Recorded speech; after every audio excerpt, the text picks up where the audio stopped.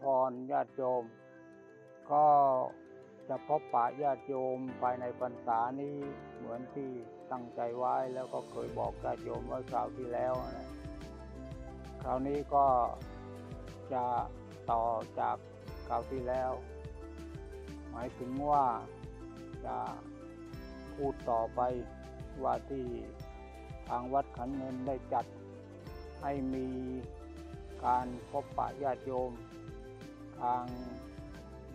อะไรก็เรียกว่าทางอิเล็กทรอนิกส์หรือทางสื่อสารทางสื่อสารนี่มันได้ใกล้ชิดกว่า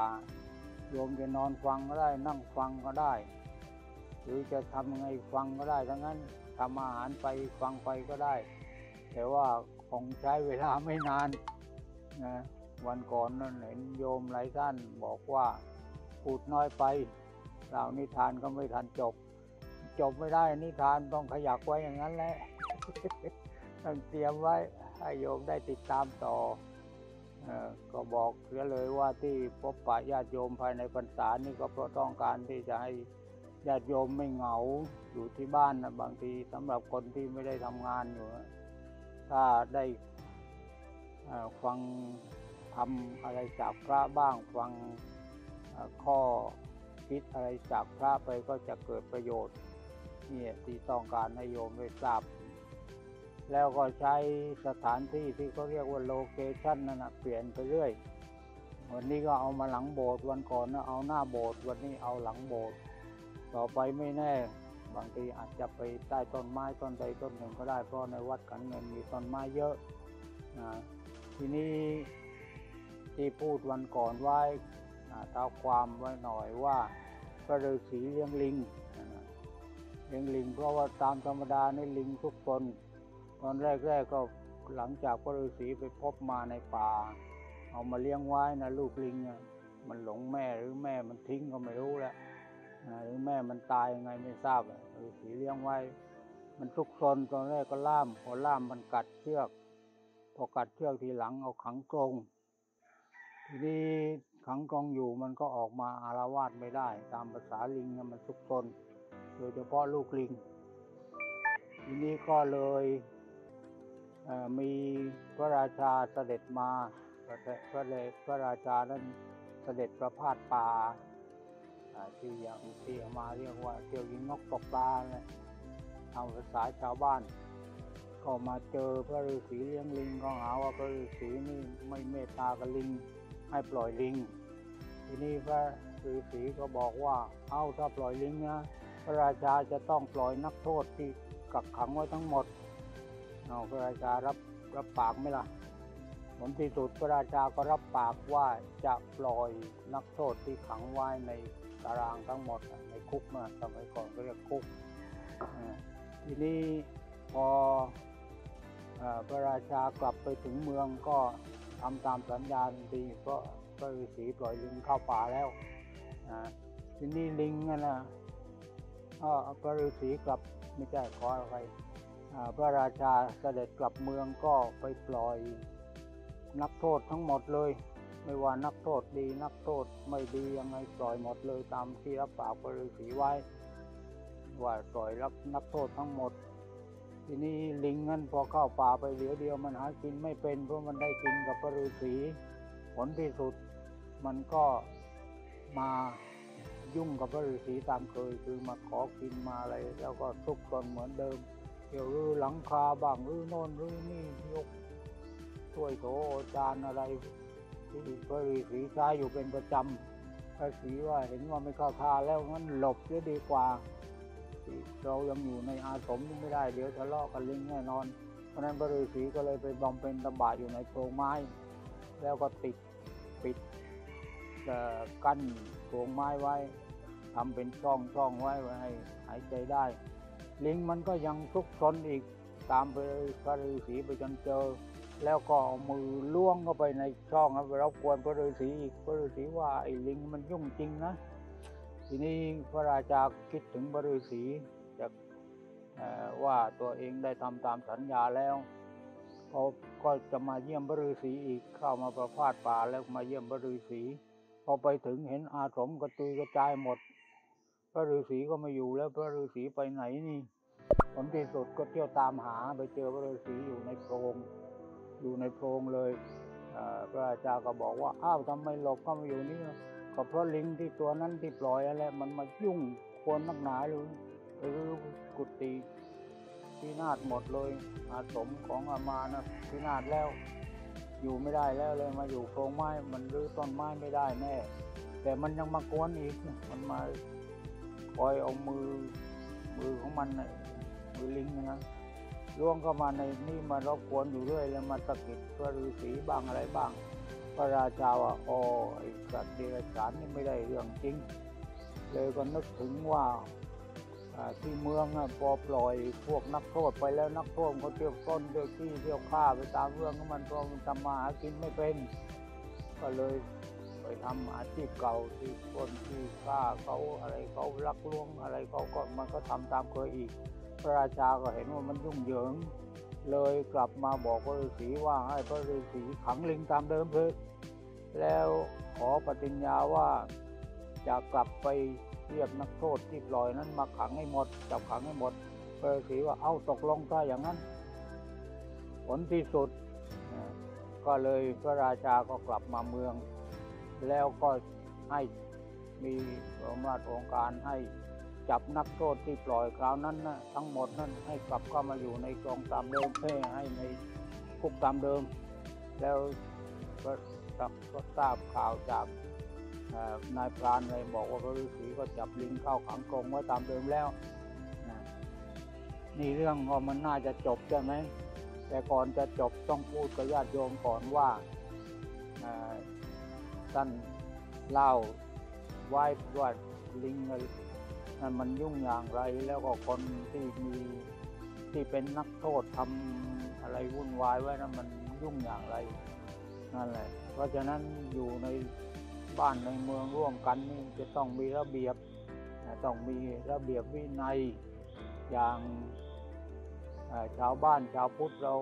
พระพุทธเจ้าก็ต้องรับศีลห้ามาให้ปฏิบัติความจริงศีลห้านั้นไม่อยู่ก่อนแล้ว แต่ว่าคนไม่ค่อยปฏิบัติกัน ก็เลยเอาศีลห้ามาปฏิบัติ ทีนี้พอบวชมาเป็นเนนก็มีศีลสิบเพิ่มขึ้นมาอพอเป็นพระ ก็มีศีลสองร้อยยี่สิบเจ็ดมากขึ้นตามลำดับ ความจริงอะที่ว่าไปนะที่ตามที่พระพุทธเจ้าตรัสว่านะพระนั้นต้องสำรวมในศีลสี่อย่าง คือปาติโมกขสังวรศีล อินทรียสังวรศีลตามลำดับขอโทษอินทรียสังวรศีล ปาติโมกขสังวรศีล แล้วก็ ปัจจัยปัจเจเวกขณศีล แล้วก็สันนิสิตศีลอีกนี่ทั้งหมดสี่อย่างนี่เรียกว่าศีลสี่นั่นแหละแต่ว่าพอรวมแล้วก็ศีลมันไม่ได้มีแค่สองร้อยี่สิบเจ็ดดังที่เราเข้าใจกัน ความจริงมันมีมากกว่านั้นโยม มีมากกว่าไอ้สองร้อยี่สิบเจ็ดนั้นนั่นก็เพียงแต่ว่าที่เอายกขึ้นมาให้ทราบกัน ราะว่าถ้าเราได้ศึกษาเราเรียนแล้ว มันจะรู้ว่าในในเว้ในปิฎกก็มีอยู่เยอะแล้วในสุดตปิฎกนะสุดตันตปิฎกก็มีศีลอยู่เยอะเหมือนกัน มีจุลศีลมัดจิมศีล แล้วมหาศีลอีกเยอะแยะมากมาย ไม่ใช่ 227 อย่างที่เราเข้าใจกัน ส่วนมากมักจะเข้าใจว่าศีลในพระปาติโมกมี 227 แค่นั้น ความจริงมันมีมากกว่านั้นในวินัยปิฎกก็มีเยอะแยะไป แล้วพอมาสุดตันตปิฎกก็มีอีกเยอะแยะ เช่นในเริ่มต้นตั้งแต่เล่มแรก มีจุมศีล มัดจิมศีล มหาศีล มีทั้งนั้น เพราะฉะนั้นเหมือนกับที่ท่าน เล่าเป็นนิทานนั้นก็เพื่อเราจะได้อยู่กันอย่างปกติที่เรียกว่าศีลนั่นเอง มันมีอยู่มากมายหลายอย่าง ไม่ใช่ว่าจะนับเป็นข้อข้อศีลห้าศีลแปดศีลสิบอะไรพวกนั้น มันมากกว่านั้น แต่รวมความแล้วว่าให้อยู่กันเป็นปกติ อย่างพระก็มีแค่ศีลสี่นะศีลสี่คือเริ่มตั้งแต่ อินเสียสังวรศีลนปาติโมกสังวรศีลนปัจจัยปัจเจเวกขณศีล แล้วอะไรเดี๋ยวสันนิสิตศีลอะไรพวกนี้แหละนะ ก็ถ้ามันผิดพลาดบ้างก็ขออภัยแต่ว่าให้โยมได้เข้าใจเถิดว่าที่ท่านเล่านิทานมาเปรียบเทียบนั้นก็เพื่อจะให้เราอยู่กันอย่างปกติ แล้วที่ว่า สัตว์พูดได้ต้นไม้พูดได้นั่นก็เพื่อจะให้ญาโยมมองเห็นว่ามันอยู่ที่คนเราต่างหากว่าจะดูแลสัตว์อย่างไร จะปฏิบัติตัวกับสัตว์อย่างไร เช่นบางคนถ้าไปรังแกสัตว์สัตว์มันก็หมดไปจากโลกนี้แหละสัตว์บางชนิดก็ตอนนี้ก็สูญหายไปแล้วไม่ต้องเทียบอะไรมากอะอาต มาห้าสิบกว่าปีที่บวชมาเกือบจะหกสิบแล้ว ก็เห็นถึงความเปลี่ยนแปลงหลายอย่าง นั่นเฉพาะสัตว์และที่ต้นไม้ใบหญ้าอีก ถ้าเราทำให้มันเจริญงอกงามก็ได้ทำให้มันสูญหายไปก็ได้เนี่ยมันมีอยู่อย่างนี้ถึงเอามานิทานมาเปรียบเทียบมาเล่าให้ฟังเพราะว่าโยมจะได้พิจารณาจะได้สนใจว่า เออ นี่มันมีอยู่อย่างนี้จริง ๆ แต่สมัยก่อนนั้นเขาเล่าเป็นนิทานนั้นเพราะว่าพวกเด็กๆหรือคนทั่วไป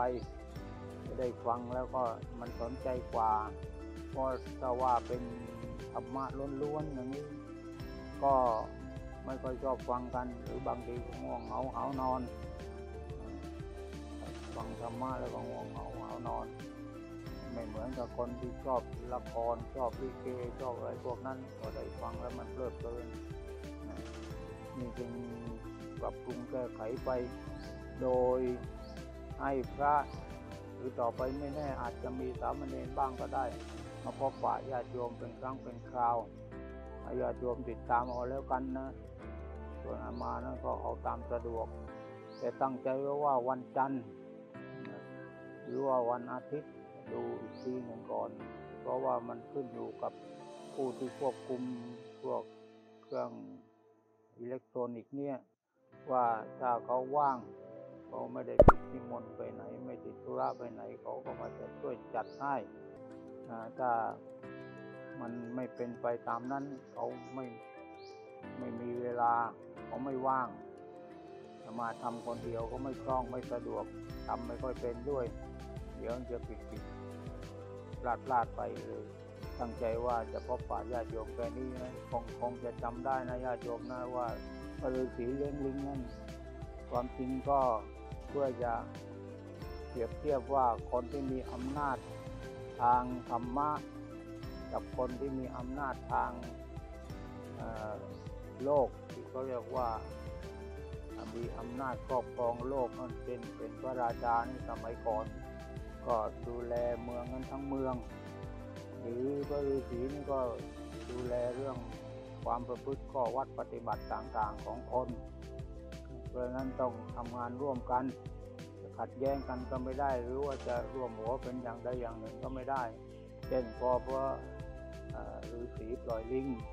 ลิงก็ทุกตนไปตามเรื่อง พระราชาปล่อยนักโทษก็วอดวายหมด บ้านเมืองกระสำระสาย นี้ถ้าเราอยู่กันอย่างมีระเบียบ มีข้อวัดปฏิบัติที่ไปกันได้ มันก็อยู่กันอย่างร่มเย็นเป็นสุข เอาละสำหรับช่วงนี้มาขอพบปะญาติโยมเพียงแค่นี้ก่อนแล้วต่อไปก็ค่อยพูดถึงพระฤาษีอีกพระฤาษีไม่รู้ตอนไหนอะนะ ไม่ใช่จะซ้ำกันไอ้พระฤาษีเชิญพระฤาษีมานิมนต์พระฤาษีมาได้พบปะญาติโยมต่อไปอีก เอาแค่นี้ก่อนญาติโยมเชิญพร